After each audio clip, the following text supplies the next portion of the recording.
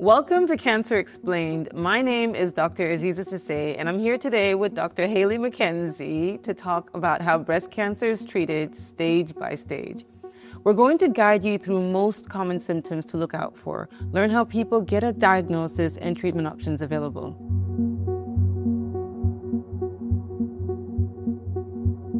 So, Dr. Hayley, let's go back to basics. What exactly is breast cancer? So, cancer is a disease where the cells grow in an abnormal way and they form a lump called a tumor. So, breasts are where the milk is made, and the most common type of breast cancer starts in the milk ducts but grows outside into the surrounding tissue. And that type of breast cancer can be invasive or non invasive. And today we're going to talk about invasive, Invasive, breast cancer. yes. Okay. So, who's at risk of breast cancer? Anybody who has breast tissue can get breast cancer. So that includes women, people assigned female at birth, or trans men. Men can also get breast cancer, but it's much less common. So, what are the main symptoms of breast cancer? So the most common symptom of breast cancer is a lump in the breast. Not all lumps are cancer, but if you are concerned, you should go to your GP. Other symptoms can include a change in the skin, either thickening of the skin or dimpling.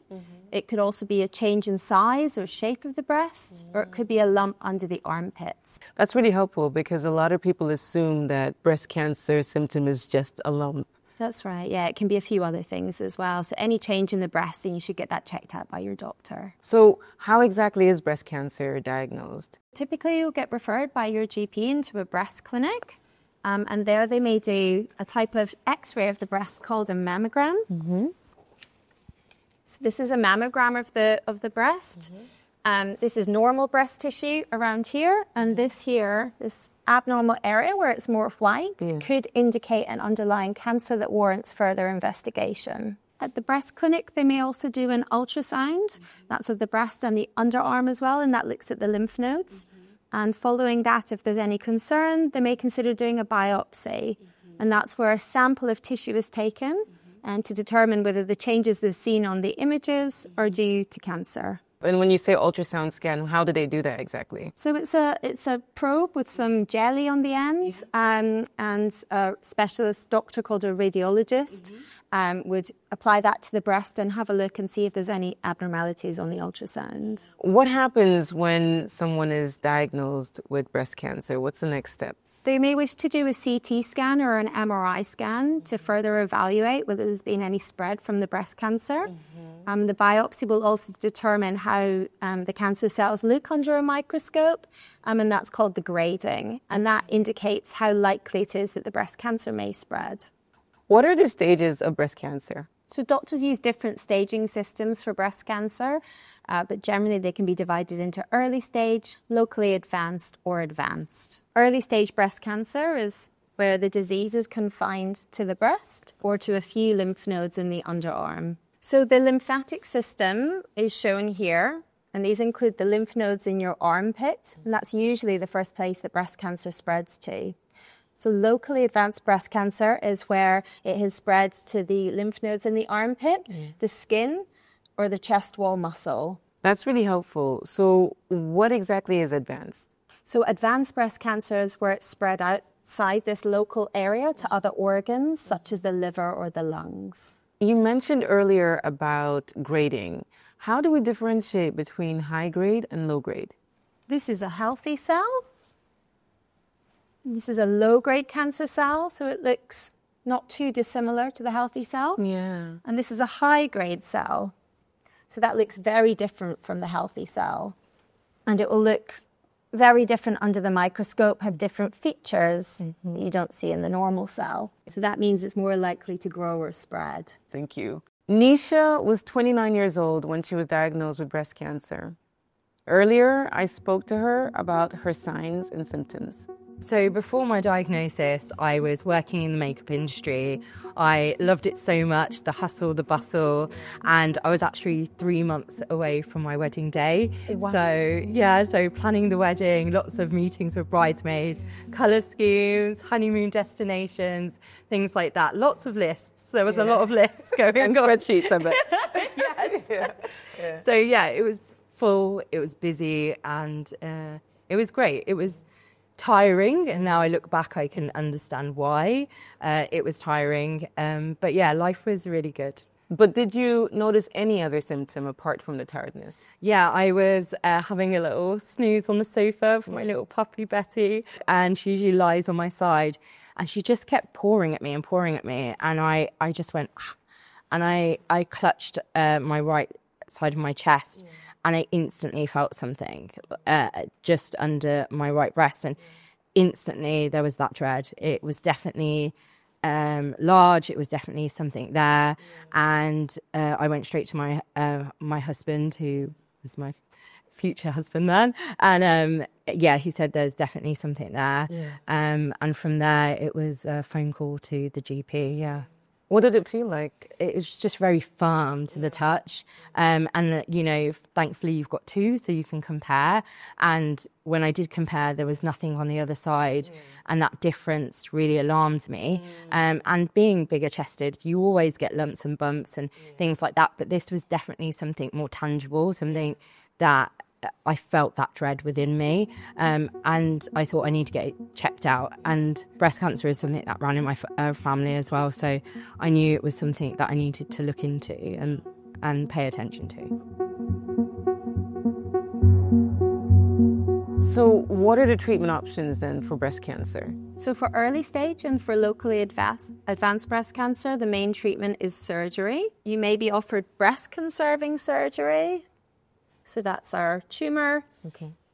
And during that, the surgeon will remove only the lump as well as some surrounding normal tissue. The other option is having a mastectomy, and that's where all of the breast tissue is removed.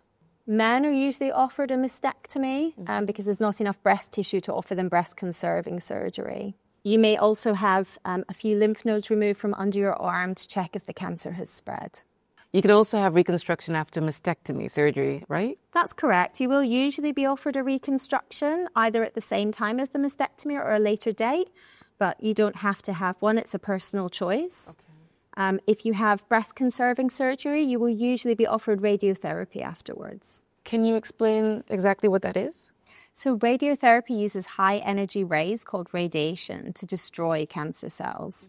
And that might be given after breast conserving surgery to the breast um, or to the underarms or the chest wall. The radiation is given like this. And these are our normal cells, and these are our cancer cells. There may be a few normal cells damaged, even though the radiotherapy is given in a targeted way, and that can give some side effects from the radiation. Is breast cancer treated with chemotherapy as well? So, if the breast cancer is of a type that may mean it's more likely to grow or spread, mm-hmm. you will still be offered surgery, but you may also be offered chemotherapy. Chemotherapy is a drug treatment that's given through the bloodstream, so it travels around the body mm-hmm. and makes the cancer less likely to spread. What are the other types of treatments? So there are some other type of treatments for breast cancer, and that includes hormone therapy, targeted therapy, and immunotherapy. So, how does that work? So, about 70% of breast cancers are estrogen positive or ER positive, mm-hmm. and that means that the breast cancer cell has got an estrogen receptor on the surface. So, we make estrogen and progesterone all the time. Mm-hmm.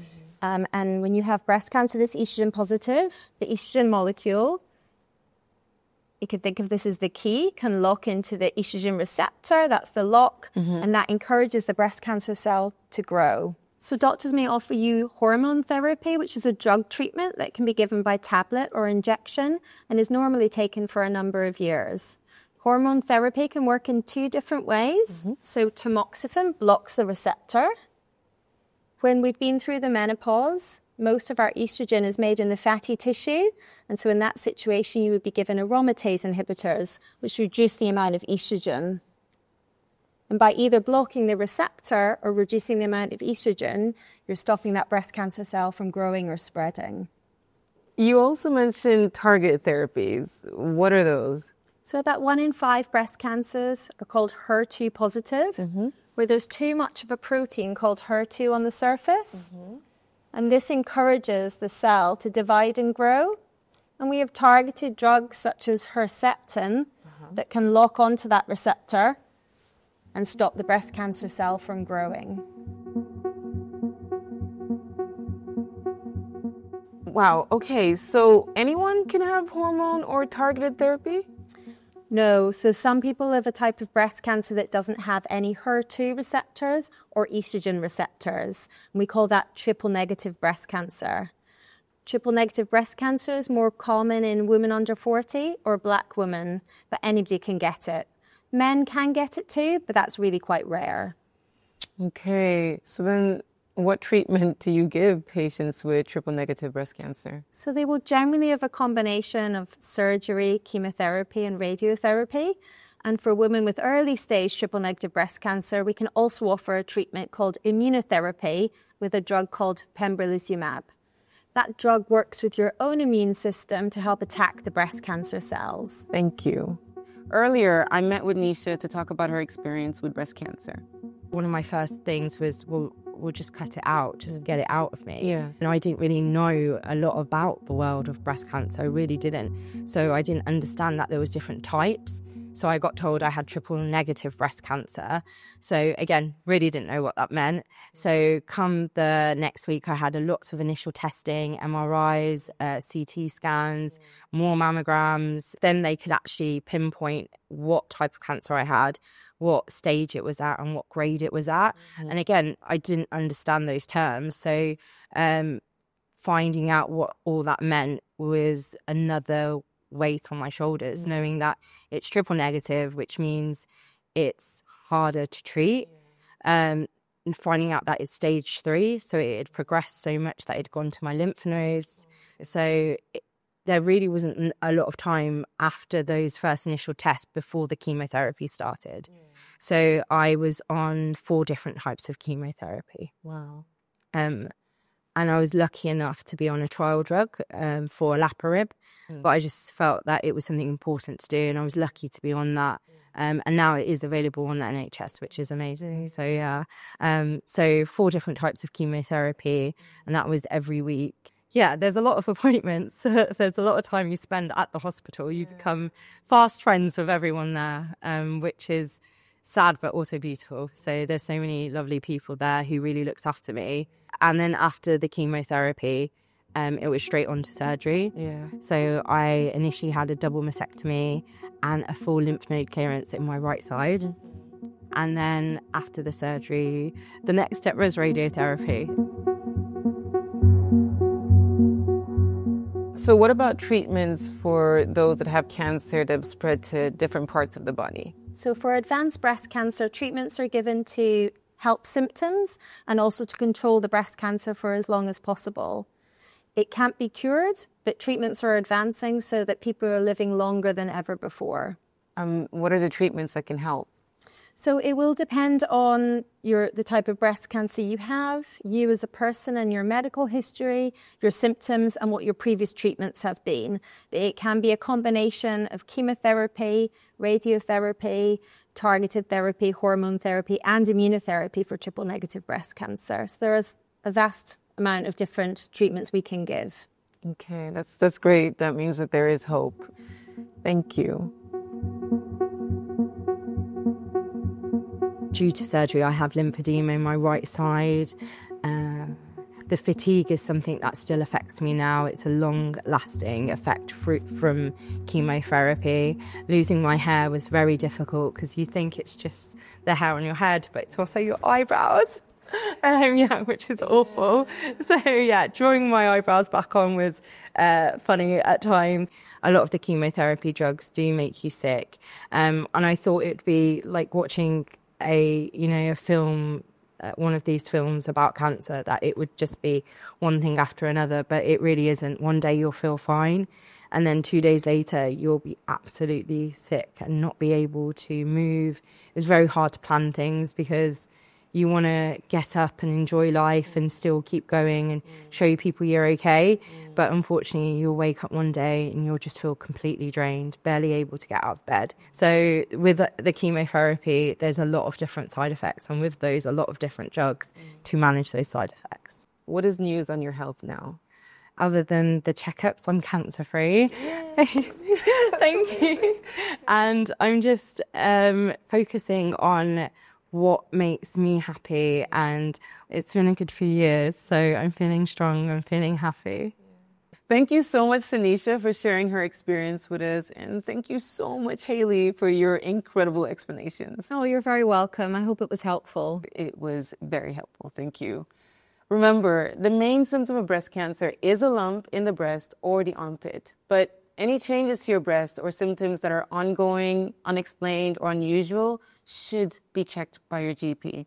If you're worried, speak to your doctor. For more information or support, call 0808 808 0000 or visit macmillan.org.uk. Before you go, if you found our conversation on breast cancer insightful, helpful, or useful, please don't forget to hit that subscribe button.